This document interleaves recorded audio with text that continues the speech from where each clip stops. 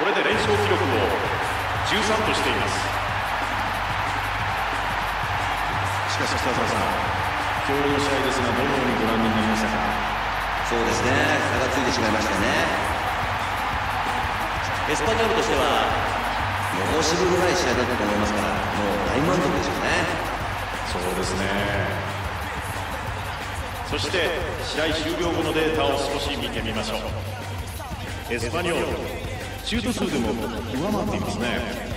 そうですね。うまくチャンスを作れているということですよね。そんな中で戦術もマークしていたということでしょうね。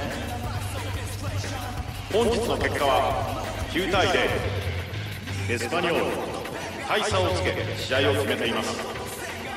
そろそろ放送時間もなくなってきました。今日の解説は北澤剛さんでした。北澤さん本日ありがとうございました。ありがとうございました実況はジョン・カビラがお伝えしてまいりました。それでは画面のハイライトシーンを見ながらのお別れとなります。皆さんまたお会いしましょう。